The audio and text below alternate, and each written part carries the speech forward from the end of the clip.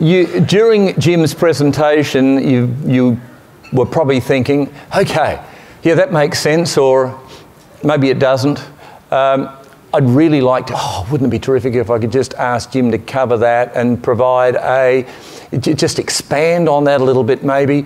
And so, and maybe you've been following Jim Rickards for the last five years and there's just been a whole stack of stuff that you would like to ask him. Well, this is your opportunity to do that. We've got about 35 minutes. Um, and so, what we'd like you to do is keep your questions reasonably short if you could, because I think there'll be a number of people in the room that would like to get involved in this. So, um, yeah, please keep those questions relatively short. So, what we've we've got Brian over there, and and ja- uh, and we've got Jared and so, what we'd like to do, we've got a gentleman who's already uh, taken advantage of the situation. He's put his hand up and he's, he's ready to go. And I know this man, his name is Vian, and it doesn't surprise me that he's, uh, he's taken advantage of this.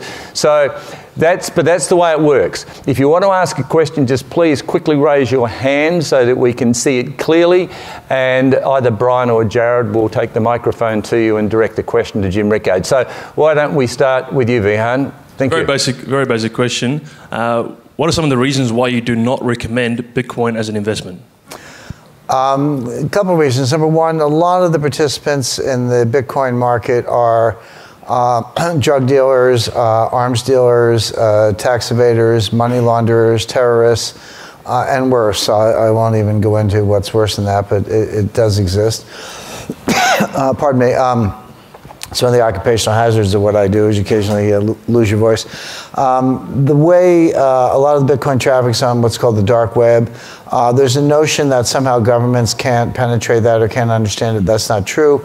Most Bitcoin holders are uh, keep their their digital wallets or their accounts at Bitcoin exchanges. You don't have to do that. Some people can have an individual Bitcoin wallet, or you can have what's called a brain wallet, where you just memorize your code. But uh, most people don't do that. They keep it at exchanges. These exchanges are unregulated, untested. Um, there have already been some very well known frauds. I expect there will be more. Um, the market, um, somehow Bitcoin believers would have you think that this is the only market in the history of the world that has not been manipulated, knowing that every other market, you know, money, stocks, bonds, gold, silver, they've all been manipulated in different ways. The entire global structure regulation that we have today was designed to deal with frauds and manipulations from you know Bernie Madoff uh, uh, to the original Charles Ponzi, who gave the, the, the, Ponzi scheme its name. But somehow Bitcoin isn't. Well, that's not true. Uh, you know, let's say you and I both own Bitcoins and they, we were miners and they, it was going down and we wanted to sort of get the market up. Well, I could sell you a Bitcoin for 4,000, you can sell it back to me for 4,100. I sell it back to you for 4,200. You sell it back to me for 4,300. We keep going.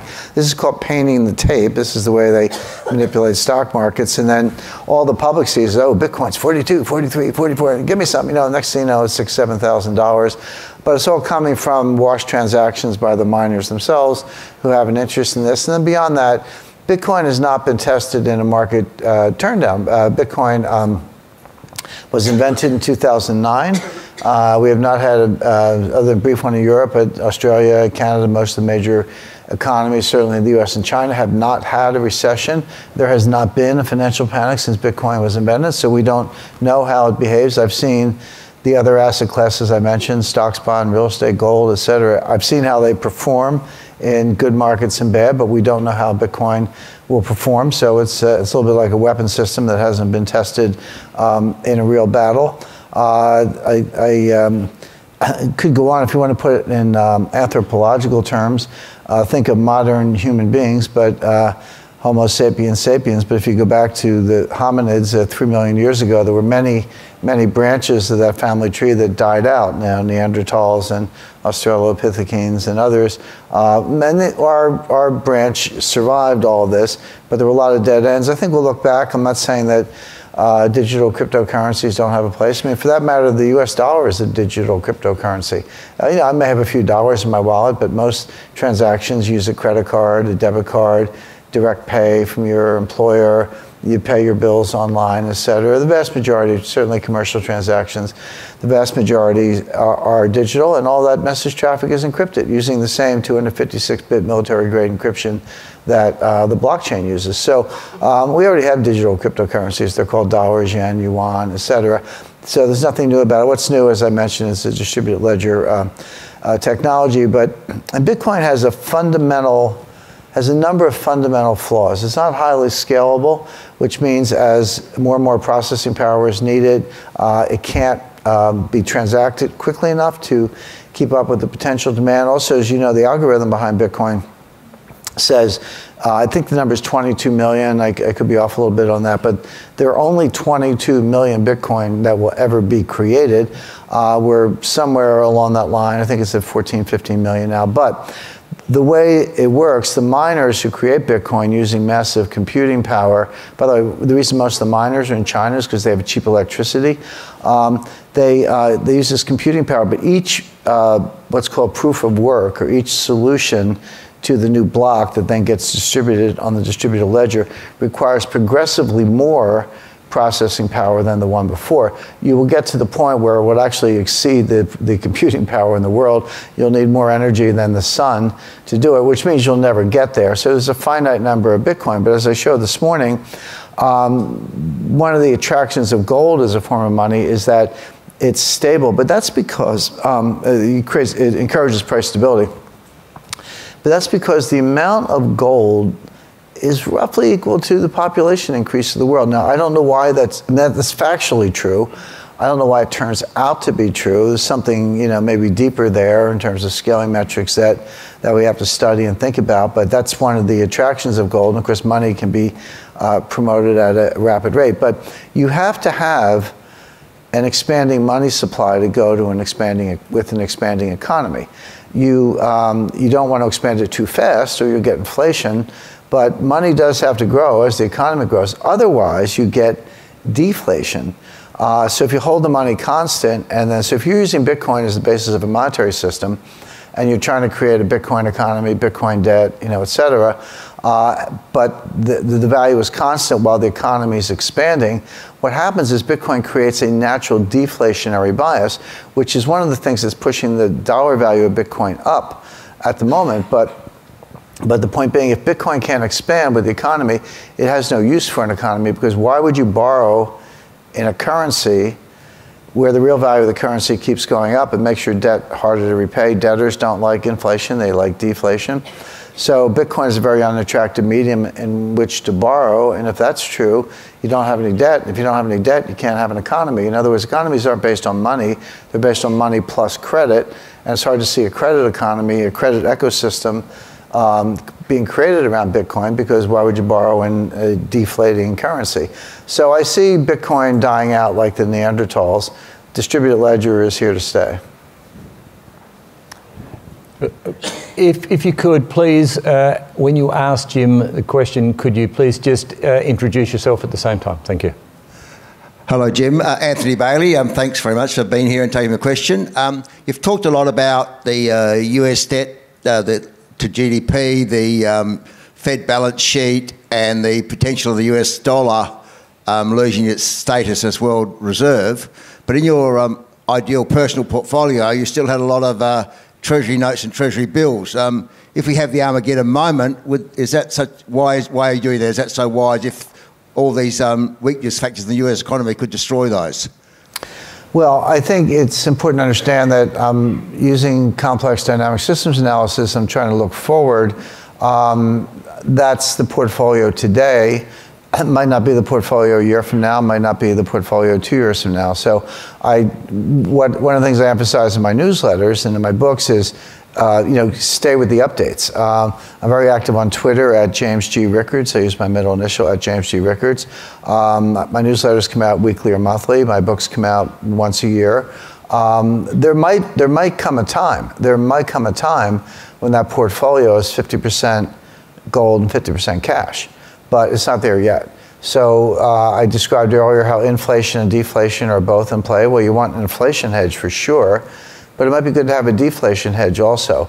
I might not want cash for a long period of time uh, if the Uh, dollar's role is going to be diminished in the global financial system, but for right now, it's still king dollar. So I, I think one of the conceptual problems people have is, you know, you, you, mention something, you give them an idea, and they lock it in, and like that's it forever. That's a really bad way to allocate. That's a really bad way to handle your assets and understand the economy. You, you might have something that's optimal at a point in time.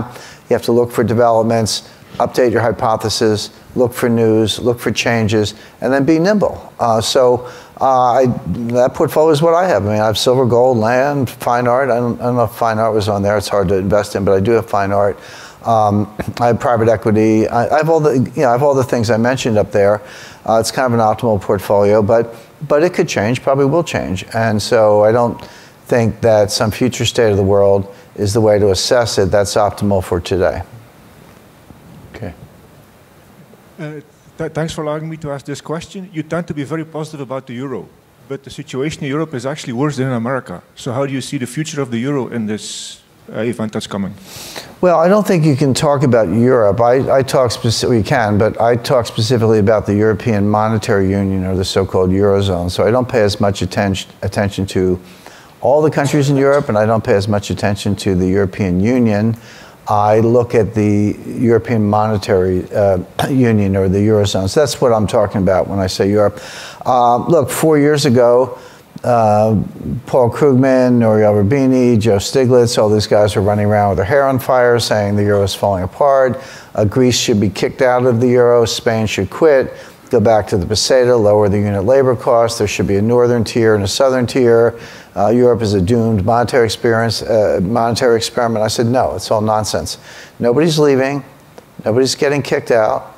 It's strong and getting stronger countries will be at it, and that's exactly what's happened. No one's left, no one's been kicked out. When I said this, there were 16 members. Today, there are 19 members. Soon there'll be 20. Uh, Scotland may be the 21st. Um, they have more gold than the United States collectively. They have 10,000 tons. We have 8,000 tons. They have a higher gold to GDP ratio than we do. Uh, I can't speak for Australians, but I'll say Americans don't understand Europe.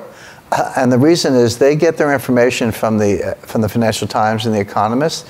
They're not European, they're English. They hate Europe. Um, the Americans who get their information from London are getting their information from people who are, hate Europe. Um, uh, it's good that the UK is leaving the EU because they never should have joined the EU. I mean, the right choice for the UK join the EU and adopt the euro or keep out. But joining the EU and keeping your own currency never made sense. Uh, and just at a deeper level, you know, what what Stiglitz and Krugman were talking about. They were saying, well, you cannot have a monetary union unless you have a fiscal union. And, and you don't have a fiscal union. You know, Greece can run deficits and Germany can run a surplus and each country does its own thing. On the fiscal side, how can you have a monetary union if you don't have a fiscal union? So therefore it's doomed to fail. That statement is correct, but the conclusion is incorrect. Because at the time of the Maastricht Treaty in 1991-92, when they were putting this forward. Uh, they, they had a think tank that worked for 10 years to come up with the convergence criteria, how, what all these currencies would be worth in terms of the new euro. They knew, they knew at the time that a monetary union without a fiscal union would not work. But they also knew that the people of Europe were not ready for a fiscal union. That was giving up too much sovereignty too quickly. But they kind of liked the idea of a monetary union. So they said, well, let's do half now we know it's going to break down, but then we'll do the other half when it breaks down. So, as far from abandoning the first half, what you do is you move to the second half. It's called piecemeal engineering. And that's exactly what's happened In Europe, in the last five years, they have unified banking regulation, unified deposit insurance. They're working on a fiscal union right now. They're talking about a Eurozone parliament, so not, not, the, Euro, not the EU parliament in Brussels, but a Eurozone parliament of members only of, of those who back the euro, where they could vote on fiscal policy, a unified finance minister for the Eurozone. True Euro bonds, I don't mean dollar denominated bonds issued in Europe, I mean European bonds denominated in euros backed by the full faith and credit of the Eurozone. So all these things are happening. They're actually accelerating because of the stresses, you know, not just Brexit, which didn't directly affect the euro, but you're looking at Scotland leaving the UK. Um, there are nationalist movements in Italy. There's some talk about Northern Italy breaking away. You know the situation in Catalonia, which obviously is being suppressed. That was easy to see coming. Uh, so my point being, you know, when you ask Angela Merkel about this, her solution is not break up Europe. Her solution is more Europe, and that's the expression they use: more Europe. So, um, so no one's leaving, no one's getting kicked out. They're getting stronger, um, and you're going to see these European-wide institutions. But I'm not surprised Americans and perhaps others in the English-speaking world don't get it because they're reading Lon London publications. All right. This gentleman uh, here, a gentleman here, do you have a... Gary, Gary Williams. Um, I've got a personal question. Um, what drives you to do what you do? I mean, you deal with the upper echelons of government and business, uh, and then you're dealing with normal people like us. And I'm just interested, and obviously being successful, so I'm just interested what actually drives you. Uh, uh, thank you. Could, every, could, everyone, uh, could everyone hear the question? I can. No, okay, can we have a microphone down here? Yeah. Well, well, yeah, I'll, uh, um, yeah, we'll, we'll, go with, I'll, I'll, repeat the question. The gentleman asked what, what, motivates me to do what I do because I've had a long career in law, economics, um, worked with the U.S. government, public policy, met a lot of top echelon officials. Why uh, am I you know, traveling, doing events, writing, etc.?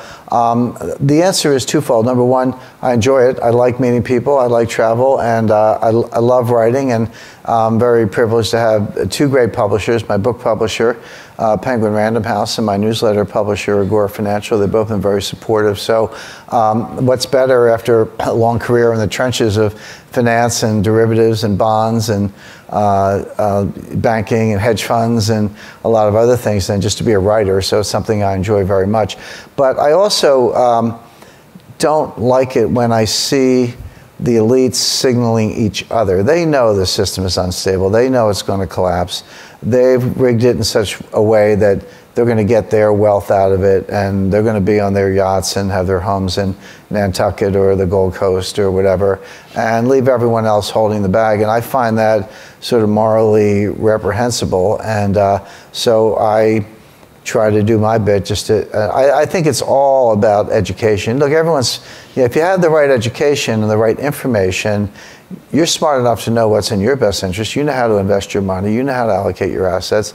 You don't need a wealth manager to tell you. But what you and, and I and what all of us need is that educational foundation so we understand how the system works, we understand what money is, so that we can make smart decisions. So I, I view what I do as kind of almost like a teacher or a professor and just trying to hopefully improve financial literacy, but I get to do it in a way that I enjoy doing. So. Thank you. Okay, gentlemen with the microphone over here. Uh, hi, um, my name is Randall Penny. I'm a consultant in the oil business. Um, I'm just uh, my interest, uh, my worry regarding gold um, uh, and precious metals generally um, is, uh, you know, okay, you you purchase um, gold and, and and so on, uh, and you hold it in various repositories um, uh, and one of the biggest fears is, uh, is obviously is confiscation um, from uh, governments, and uh, uh, you know, and uh, I mean, I'll be straight. Um, I mean, I, I, I, have a worldwide, you know, this worldwide in different repositories around the world. So the question arises me for me is is if the world banking system collapses, as so many people are seem to be predicting. At least I'm getting a lot of thing on the, on the, the that banking will become a, a major problem. Um, how are we going to get in a big freeze up? How are we going to uh, get hold of our um, our precious metals and even convert it into currencies, let alone anything else? Um, in in in in, in uh, the very crisis that we are buying this as a hedge against. Well, in the first instance, you won't have to convert it into currencies because it will be the currency.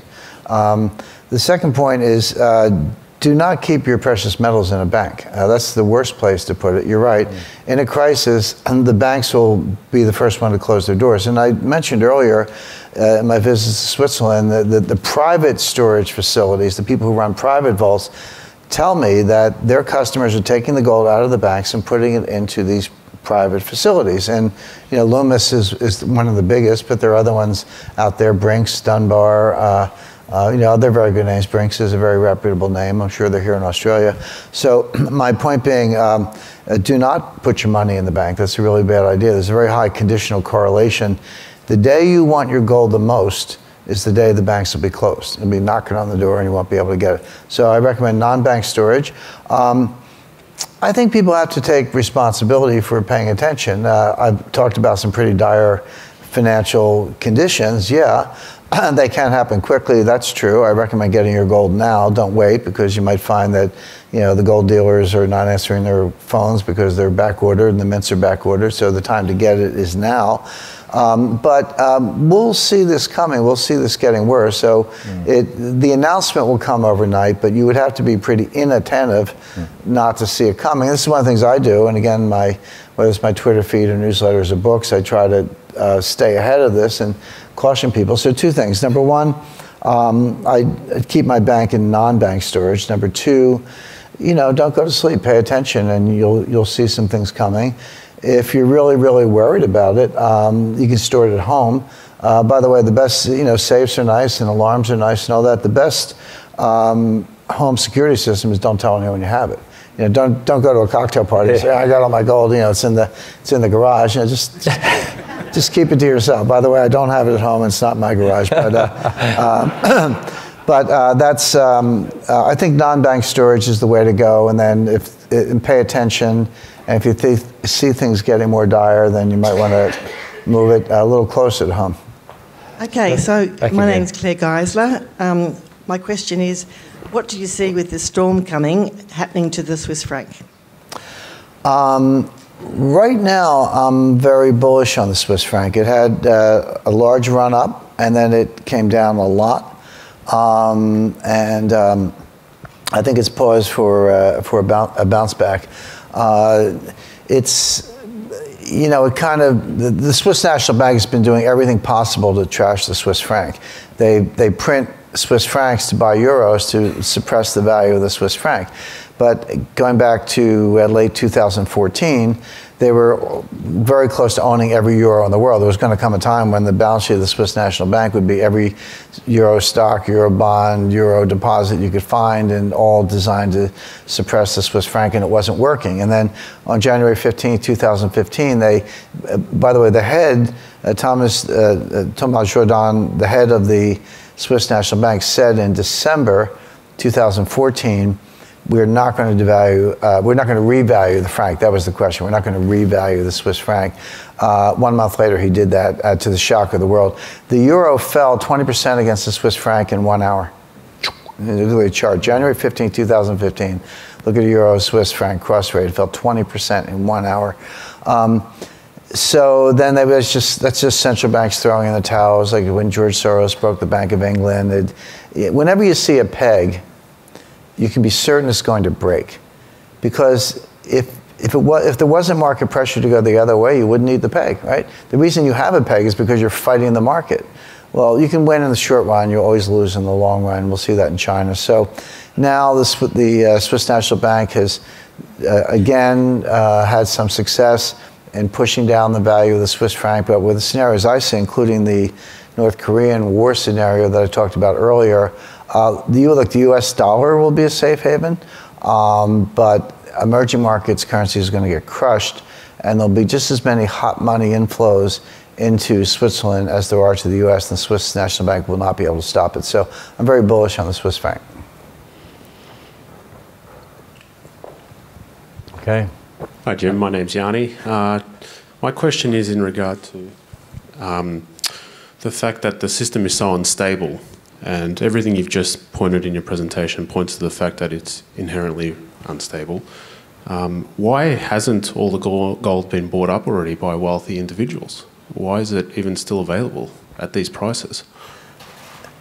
Well, the key part of that question is at these prices. Uh, there's not that much gold available. Uh, the, uh, you know, I talked to the, I met with the largest refiner in Switzerland um, in a a little town called uh, Mendrisio near Lugano, not far from the Italian border.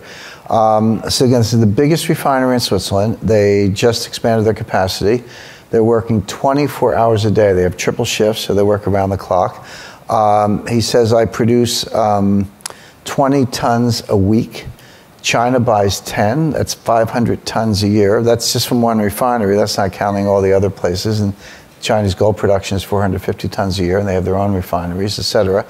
Um, he said, but I, China wants all of it, but I won't sell on the rest because I've got my regular customers like Rolex watches or you know Cartier jewelry or whoever it might be. He said, Jim, if I didn't know you and you know you called me for gold, I wouldn't take the call because we're not taking any new business. So, um, and he said, I'm having trouble sourcing. A refinery gets all they do is they take gold in one form and they turn it into a different form, four nines, you know, uh, kilo bars, etc.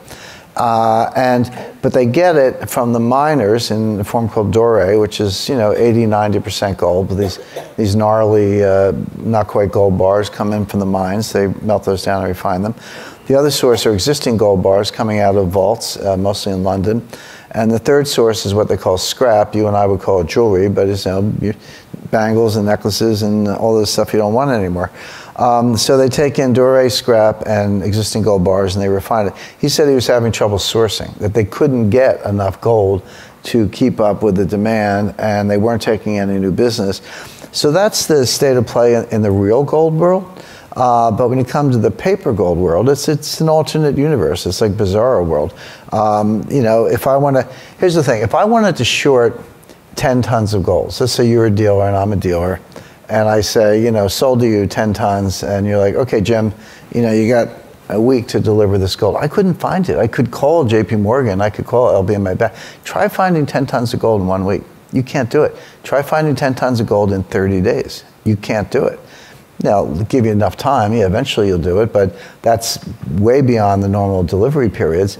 But if I want to sell 10 tons of gold in the COMEX, nothing to it. I you know, call my broker, you know, sold. Uh, you got to pay some margin, pay the commission to the brokers, whatever. But um, so I can sell all the gold. I can sell 50 tons. I can sell 100 tons of paper. I just can't sell real gold because I can't source it. Mm. Um, and so the paper manipulation suppresses the price. Uh, why is this going on? Well, there are a number of reasons, but the main reason is that uh, this goes back to the history of the international monetary system, but let's just go back to the 1950s and 1960s. So in 1950, the United States had 20,000 tons of gold. In 1970, the United States had 9,000 tons of gold. Where did the 11,000 tons go? I went to our trading partners. If you 3,000 to Germany, 2,000 to Italy, 2,000 to France, 600 to Netherlands, 400 to Japan, etc. If you traded with the United States, sold us, you know, Volkswagen cars or Sony radios or Italian wine, whatever it was, you got dollars. And in those days, you could take your dollars and turn them in and get gold. And they did. That's how they got the gold. Except that by the late 60s, there was a run on the bank and Nixon closed the window and no more gold. They said you can buy stocks and bonds, you just can't get the gold. Uh, but that's where that 11,000 tons of gold went. Now, come forward 30 years. Who's got the trade surplus? Who's the big trading partner? China. So China's selling us all this stuff, and they're getting paid in dollars, but they can't get any gold. They get Yang money. I mean, we were. They're like, "Where's our gold?" You know, the, all you Germans and French, you got the gold under Bretton Woods. We're not getting the gold. So the deal is, okay, you got to get the gold. Everyone knows China has to have the gold, uh, but you got to go buy it you can't cash it in at Fort Knox at a fixed price. You've got to go buy it. Well, if you trade in any market, what happens when you go into a market? You're the Bigfoot. You're, you're you got the big bid. You know, the supply's scarce. You're the big bidder. What's going to happen to the price? It's going to skyrocket. And China's trying to get a gold to GDP ratio. Their GDP is expanding, so it's a moving target, so they have to get more and more gold. But the scarce supply, so when you buy it, the price keeps going up. So what you have to do, it's a two-sided approach. You have to suppress the price so China can get the gold it wants to be treated fairly in this international monetary system. But then once China gets enough gold, which they don't have already, but once China gets enough gold, then they won't care about the price because they can let it go to the moon. Yeah. But if you were, this sounds funny, but if you were a buyer, would you want the price to go up or down? You'd want it to go down, right? If you're still buying. If you have all the gold you want, you want it to go up. That's easy. But if you're a buyer, you want to keep buying, you want the price to stay low as long as you're sure it's going to go up in the end. And it is going to go up in the end for the reasons I demonstrated. So China's in this curious position They want a low price today um, because they're still a buyer by the hundreds or even thousands of tons, but they all know that the price is going to skyrocket in the end game. We're just not there yet. And if China uses the futures market to suppress the price of gold, the United States government will not touch it. They will not investigate that. You can't investigate a size, you know, a small sleazy broker. Yeah, they'll put you in jail. But a, a sovereign country the size of China, this is a very deep game. They won't. They won't investigate that. Now, having said that, people say, why should I buy gold if, if the price is going to get suppressed? The answer is uh, it's unstable and it's, um, it, it, cannot be continued much longer. So so you know, buy, buy gold at today's price and say thank you, China, for keeping the price down, and then you'll participate when it skyrockets sooner than later. We have time for one the, more. Yeah, one more. That's it. One more question. Who has a microphone I, at the moment? I have over here. We have over here. Okay. Hi, Jim. Thanks for being here today. Thank My you. name is Hans Peter. Um, I just have a very simple question. What's your view on Glass-Steagall? Um, the uh, for those who don't know, the question, what's my view on Glass-Steagall? Glass-Steagall was a law passed in 1933. Uh, so you got to go back to the 1920s. So what happened in the 1920s? Commercial banking, which is deposits and lending, and investment banking, which is underwriting and sales of securities, were all done in the same institutions, um, Citibank or First National Citibank and Morgan and, and Goldman and the rest. So the bank said, aha, why don't we create some really garbage securities and sell them to the customers. Isn't that a good business model? And that's exactly what they did. They made a lot of bad loans, wrapped them up in securities, and sold them to the customers. So then we had the collapse, the crash of the stock market, and the Great Depression, and Congress had hearings. That was called the Pecora Commission, reported, and the Congress passed a law. And they said, well, okay, here's the deal. From now on, you can take deposits and make loans, or you can underwrite and sell securities, but you cannot do both. You have to separate commercial banking and investment banking. You cannot do both because there's an inherent conflict of interest. The temptation always is to create lousy securities and sell them to the customers. So take deposits, make loans, or underwrite and sell securities, but not both. That was Glass-Steagall. That was the law in the United States for almost 70 years. It was the law until 1999. And then the Congress in 1999, on a bipartisan basis led by Phil Gramm, a Republican senator, Bill Clinton, a Democratic president, they thought they were smarter than the people in 1933. They thought they knew better. They said, "Oh, well, we got all this modern financial technology and value at risk and risk management, computer. We're not, we're not going to make those mistakes. We got this figured out." And then Sandy Weill and the lobbyists, you know, go ahead and they get Glass-Steagall repealed. What happened?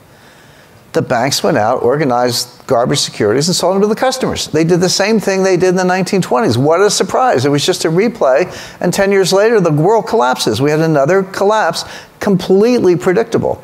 Um, so, so, you know, the Congress in 1999 were, in, Congress in 1999 were actually idiots. The, the Congress in 1930 knew what they were doing. So you have a law, it solves a problem, it works perfectly for 80 years and then you think you're smarter than that, and you tear it up, and within 10 years, right on time, you get the global financial crisis. So Glass-Steagall was a big part of it. There are a lot of people say it, it wasn't. Sorry, I spent way too long in. I worked at commercial banks, investment banks, hedge funds, and I ran a stock exchange. So there aren't too many people have seen as many facets of this as I have. And I can tell you that that was the global financial crisis was a predictable result of the repeal of Glass-Steagall. So what's the answer? Bring it back se- you know, separate commercial and investment banking. Odds of that happening are close to zero because the lobbyists own Washington. I was actually in a meeting with uh, uh, a closed door meeting with uh, all the U.S. Treasury officials in charge of risk management. This was the staff of the Financial Services Oversight Committee, which is the main risk management body in the U.S. government. And they invited me down. They were very nice, and to give them a risk management talk, which I did, telling them the same thing I'm telling you. And in the middle of my talk, I interrupted myself and I turned to this Treasury official and I said, You know, I don't envy your job because the lobbyists and the banks own this town. And I expected him to jump out of his seat in outrage and say, What are you talking about? He didn't. He looked at me and said, You're right. So, you know, closed doors. I won't mention his name. But, the, but my point being, the lobbyists do own Washington. The banks do own Washington. You're not going to see Glass-Steagall. What you should expect in the fullness of time is another catastrophe. And on that happy note, I thank you very much.